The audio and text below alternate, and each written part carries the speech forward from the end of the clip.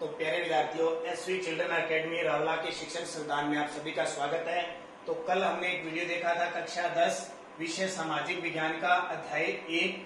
स्वर्णिम भारत में हमने पढ़ाए थे सारे के सारे 16 महाजनपदों के बारे में आपको जानकारी देते और आशा करता हूँ आपने 16 के 16 महाजनपद याद कर लिए होंगे। अब आज हम बात करते हैं, हमारे राजस्थान में कौन से जनपद थे? देखो, जनपद से क्या बने? महाजनपद और महाजनपद कितने थे? सोलह थे। अब राजस्थान में जनपद कौन कौन से उनकी बात करेंगे? ये पार्ट नंबर दो हो जाएगा आपका। पहले पार्ट में आपको महाजनपद बता दिए, दूसरे पार्ट में क्या हो जाएँगे? राजस्थान के जनपद। अब राजस्थान के जनपद कैसे, क्या, कैसे विकसित हुए? तो ध्यान रखना, पंजाब, जो राज्य है, पंजाब के अंदर जाती थी सीवी मालव व अर्जुनाइन अर्जुनाइन ये क्या थी? जातियाँ थी। कहा रहती थी पंजाब के अंदर रहती थी। अब क्या हुआ? पंजाब में, यानी हमारे भारत के हिंदुस्तान के उत्तर पश्चिम क्षेत्र से हमेशा विदेशी आते थे। ऐसे, इस क्षेत्र से, और आए कौन? यूनानी आए। यूनानियों का आक्रमण हुआ। जैसे नाम सुना होगा आपने, सिकंदर। सिकंदर वगैरह, बहुत सारे यूनानी आए थे। उनका आक्रमण हुआ इस पंजाब क्षेत्र में, और पंजाब से जातियाँ थी सीबी मालव और अर्जुनाई ये भागकर हमारे राजस्थान में आ गई।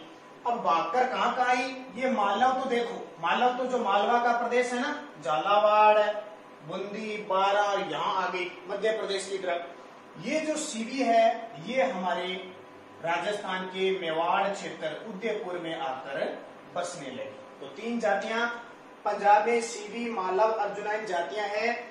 और यहाँ पे यूनानी आक्रमण के कारण ये डर कर यहाँ से भाग गई और अलग अलग क्षेत्रों में विकसित हो गई। अब शिवी का एक जनपद बन गया, मालव का एक जनपद गया, अर्जुनन। लेकिन हमारे राजस्थान में कौन सा था? शिवी जनपद। अब देखिए आगे की बात कि हमारे राजस्थान में कौन कौन से जनपद हुए। तो राजस्थान में पहला जो जनपद आता है, उसका नाम आता है जांगल। कौन सा? जांगल जनपद। और ये जांगल जनपद किस क्षेत्र में था? महाभारत काल में जोधपुर और बीकानेर। जोधपुर में बीकानेर का क्षेत्र क्या था? जंगल क्षेत्र था।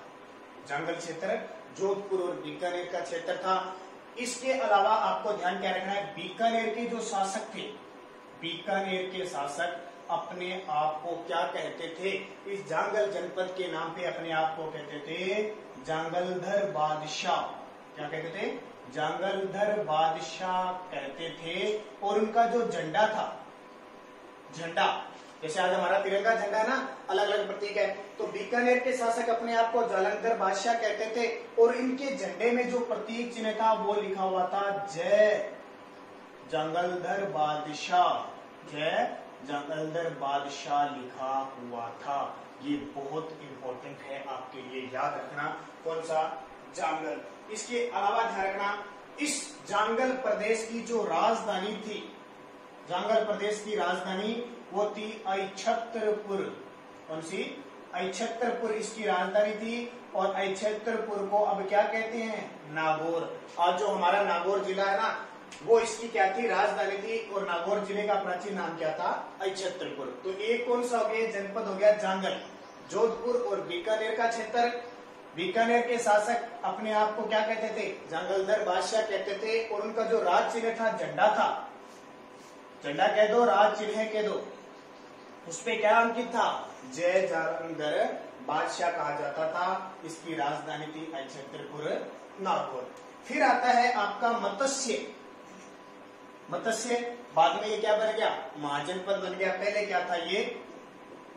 पहले जनपद था। तो इसकी राजधानी क्या थी? विराट नगर राजधानी क्या थी? विराट नगर। अब इसको क्या कहते हैं? विराट कहा जाता है। मत्स्य ध्यान अब ये पूछे कि ये क्षेत्र कौन सा है? तो मत्स्य जयपुर के आसपास। जयपुर के आसपास का क्षेत्र। आसपास का क्षेत्र का ध्यान रखना कौन सा? मत्स्य। यहाँ पे महाभारत काल का महाभारत काल व मौर्यों के अवशेष मिलते हैं। मौर्य के अवशेष मिलते हैं। महाभारत काल के और मौर्य के अवशेष कहा मिलते हैं? इस मत्स्य में मिलते हैं। ध्यान रखना। इसके अलावा देखो, यहाँ पे सहाज नाम का एक राजा था। सहाज नामक शासक ने, सहाज नामक शासक ने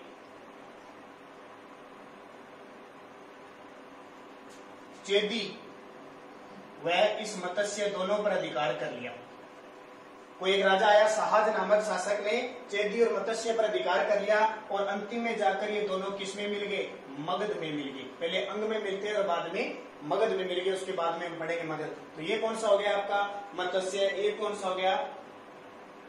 जांगल हो गया। और मत्स्य में एक बिंदुसार शासक आएगा आगे। बिंदुसार से बाद की जानकारी मिलती है।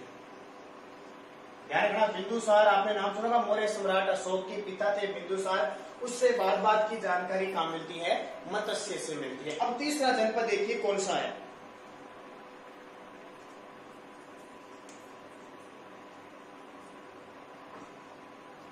तीसरा जनपद हमारे राजस्थान में, वो भी क्या था? एक महाजनपद था, लेकिन कुछ ही भाग थे उसके। सूरसेन सूरसेन ये महाजनपद था। कल मैंने आपको बताया सूरसेन, जिसकी राजधानी मथुरा थी। इसका क्या है? सूरसेन महाजनपद का राजस्थान में अलवर का क्षेत्र, भरतपुर का क्षेत्र, धौलपुर का क्षेत्र करौली का क्षेत्र। ये क्षेत्र आया। सूरसेन, जो पहले जनपद था, राजस्थान के कौन कौन से ज़िले क्षेत्र थे? अलवर, भरतपुर, धौलपुर, करौली के क्षेत्र इसमें क्या थे? सम्मिलित थे आपको एग्ज़ाम में आपके क्वेश्चन आ जाना कि सूरसेन क्षेत्र में राजस्थान के कौन से ज़िले सम्मिलित थे? भरतपुर, धौलपुर, करौली और अलवर थे। और इस सूरसेन की राजधानी क्या थी? सूरसेन की राजधानी। तो राजधानी मैंने आपको कल भी बताया था, मथुरा थी। उसके अलावा भी कुछ नाम और आते हैं, जैसे मैं आपको बता देता हूँ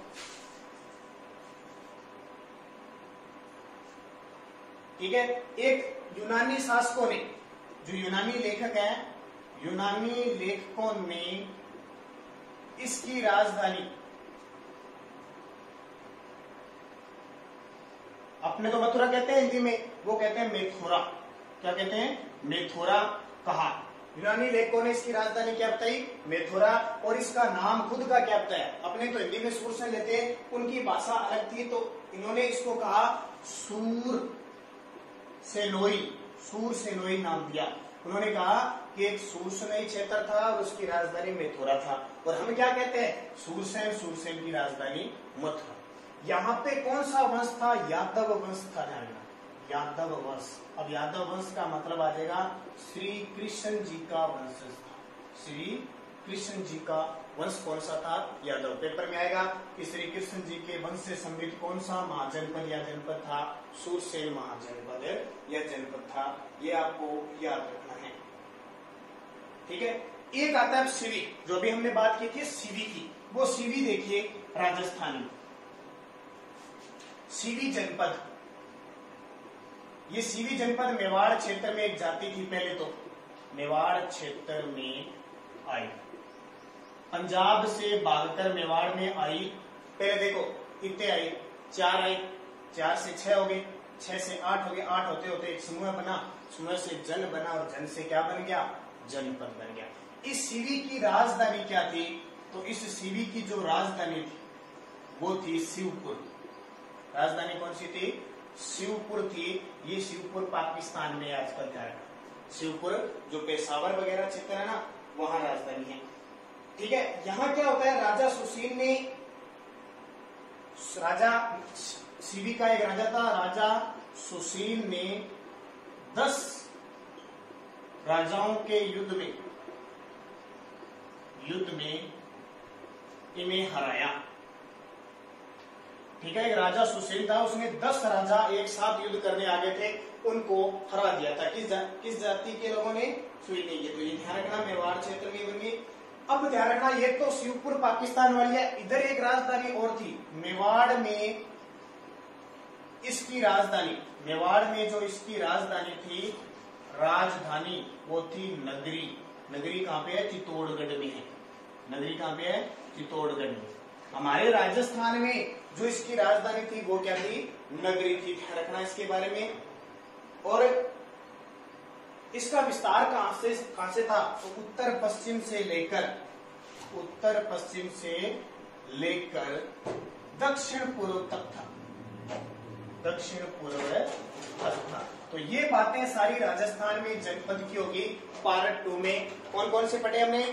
जांगल, मथुरा, सूरसेन और सीवी अब इसके बाद में पढ़ेंगे जो सोलह महाजनपद में जो मगध है, सबसे ताकतवर मगध, उस मगध पर मौर्य सम्राट गुप्त वगैरह सारे शासक कैसे आए थे, उनके बारे में चर्चा अपने अगले वीडियो में करेंगे। तब तक आप इनको बढ़िया तरीके से पढ़ना, क्योंकि एग्ज़ाम में आपका जो क्वेश्चन आएगा ना, इस तरह आएगा कि सीवी जाति राजस्थान में कहा रहती थी, मेवाड़ क्षेत्र में रहती थी सीवी की राजधानी कौन सी थी, किस क्षेत्र में निवास करती थी, इस तरह के क्वेश्चन आपको मिलेंगे। तो अगला टॉपिक हमारा होगा मौर्य वंश। तब तक आप अपनी बुक में से ये टॉपिक है पढ़ते रहें